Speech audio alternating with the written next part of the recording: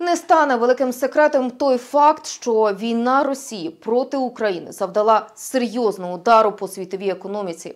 За даними Організації економічного співробітництва та розвитку, внаслідок війни в другому кварталі 2022 року зафіксовано стагнацію світового валового внутрішнього продукту.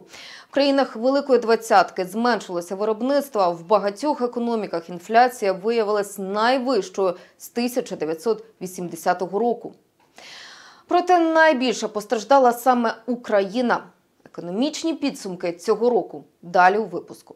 Цього року гривня перетерпіла чимало. Внаслідок повномасштабного вторгнення РФ Україну національна валюта девальвувала на майже 49%. На початку року ніхто не міг передбачити, що на грошовому ринку курс валют досягне позначки у 40 гривень за долар. Наприкінці січня 2022 року на готівковому ринку ціна за один американський долар досягла 28 гривень 41 копійки. Після початку повномасштабного вторгнення, щоб забезпечити стабільну роботу фінансової системи, Нацбанк зафіксував курс гривні на рівні 29 гривень 25 копійок за долар. Проте вже у липні Національний банк був вимушений скоригувати офіційний курс гривні до долара на 25% – до 36 гривень 56 копійок. У НБУ пояснили, що це необхідний крок, який дасть змогу збільшити конкурентну спроможність українських виробників та підтримує стійкість економіки в умовах війни. Того ж ранку ціни на валюту на чорному ринку обвалились у середньому на одну гривню. Вже у жовтні середньозважений курс готівкового долара становив майже 41 гривню. У грудні ж придбати валюту на міжбанку можна було за фіксованою ціною за 36 гривень. Проте на чорному ринку його ціна не падала нижче 40 гривень. Фіксація обмінного курсу гривні виступає таким якорем е, стабільності. Е, Цей режим дозволяє е, економіці забезпечувати макроекономічну стабільність і в той же час обмежувати вплив оцих негативних шоків на ціни. Тобто, таким чином ситуацію з інфляцією дозволяє цей е, фіксація обмінного курсу робити контрольовано. Щоб знизити обсяг відтоку доларів за кордони і підтримати стабільність курсу, Нацбанк запровадив чимало обмежень. Зокрема, у вересні ввели в дію постанову, відповідно до якої українські компанії, що проводять розрахунки у іноземній валюті, спочатку повинні були використати те, що вже мали, а потім докуповувати її на валютному ринку. Крім того, НБУ повернув раніше чинну заборону на перекази з гривневих платіжних карток українських банків на зарубіжні банки. Проте українці все ще можуть переводити кошти у інші країни для оплати лікування, навчання та аліментів. Наразі просто немає іншої альтернативи, окрім як дотримуватися таких обмежень. Е, Національний банк ці обмеження калібрує. Найбільш такі, е, ті, що заважають проведенню бізнесу, він е, змінює е, або знімає, е, але е, поки існує оцей м, фактор негативних очікувань, е, Національний банк змушений дотримуватися цих е, обмежень на валютному ринку. Попри фіксацію курсу валюти, у листопаді споживчі ціни зросли майже на 26%. Все через руйнацію енергетичної інфраструктури. Люди працювали менше, а деякі продовольчі товари стало зберігати складніше через відсутність електроенергії. Завдяки антикризовим діям уряду відбулось різке зростання імпорту енергогенеруючих приладів. Отже, враховуючи поточні тенденції та здатність економіки України швидко адаптуватися до нових умов, вважаємо, що за підсумком року споживча інфляція, як ми і прогнозували, не перевищить 30%. За словами заступника голови Всеукраїнської аграрної ради Дениса Марчука, тренд на зростання цін залишатиметься і протягом зими, адже через відсутність постійного електропостачання бізнес з виробництва продуктів харчування змушений купувати та утримувати генератори, а це дорого. У нас, окрім сезонності, то що ми маємо фактор, да, це завжди взимку ціни на овочі піднімаються, тому що ми складаємо їх у сховищах, потрібно тримати відповідний температурний режим.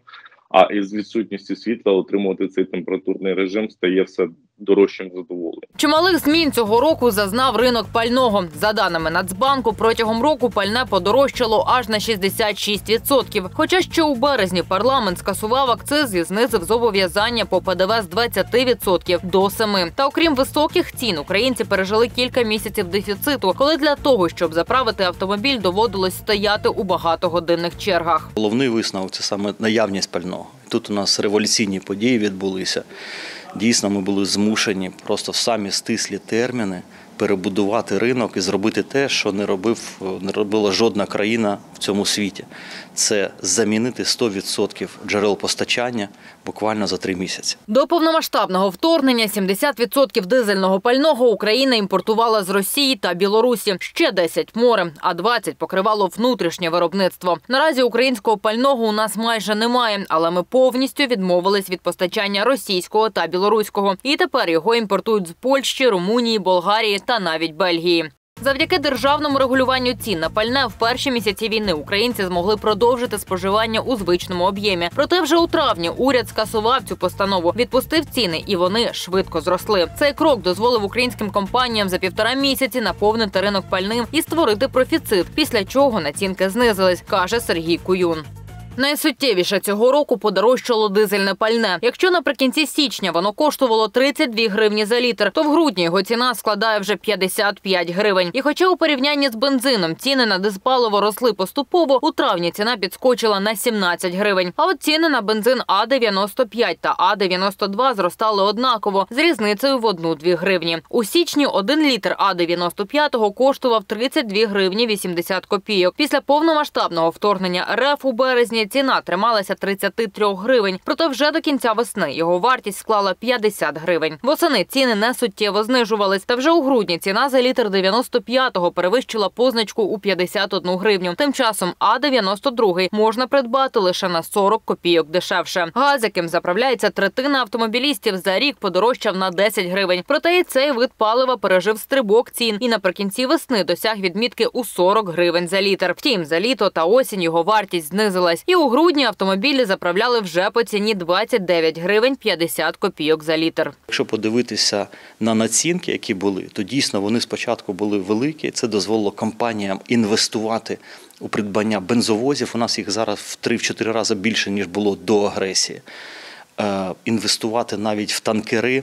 Резервуари і в тому числі за кордоном. І сьогодні е, декілька компаній мають в оренді або вже у власності термінали. Наприкінці вересня Володимир Зеленський підписав закон про повернення акцизів на пальне, які діяли до повномасштабної війни. Завдяки цьому рішенню бюджет України щомісяця може наповнюватися на 2-3 мільярди гривень, які планують витрачати на відновлення зруйнованої рашистами інфраструктури та доріг. Втім, якщо до 24 лютого акцизна ставка складала 213 євро за тисячу літрів бензину, 140 євро за тисячу літрів дизпалива та 52 євро для скрапленого газу, то наразі ж ставки на деякі категорії знизили. Зокрема, акциз на бензин та дизель складає лише 100 євро за тисячу літрів. Важким видався рік для аграрного сектору. За даними Державної митної служби, на середину грудня з початку 2022-2023 маркетингового року Україна експортувала майже 20 мільйонів тонн зернових та зернобобових культур, що на 9 мільйонів тонн менше ніж торік. А протягом повномасштабної війни загальний обсяг експортованої агропродукції, включно з олійними культурами, склав майже 30 мільйонів тонн. Цей показник значно менше ніж у мирний час.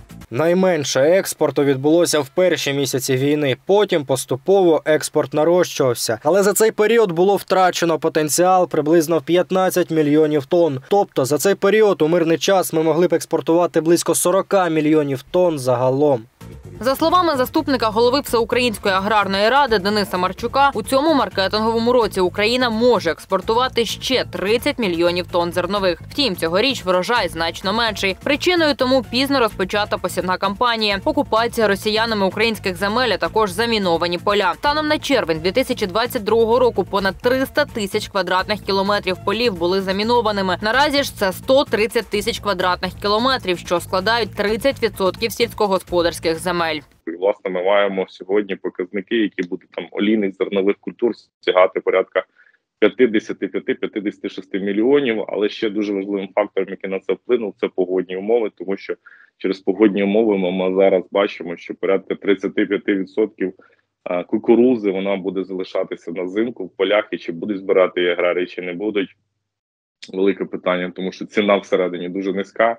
А собівартість затрат на її збирання, потім зберігання, вона надвисока. Цього року через блокаду Росії українських портів не лише українська економіка могла залишитись без валютної виручки, але й країни Африки, Азії та Близького Сходу були на межі холоду. Тож, коли у серпні з порту Південний вийшло перше судно з зерном, всі видихнули з полегшенням. Проте вже у жовтні Росія знову заблокувала український експорт. Зрештою, завдяки зусиллям України та західних партнерів, 19 листопада зернову угоду продовжили ще на 120 днів. Загалом з серпня по середину грудня з портів Великої Одеси експортували 14 мільйонів тонн зернових. Для нас дуже важливо, щоб ця зернова угода не мала таких термінів, там 120 чи 200 днів. Тобто вона має діяти безстроково. Це вдавало додаткову гарантію напередодні нової посівної кампанії весною 23-го року.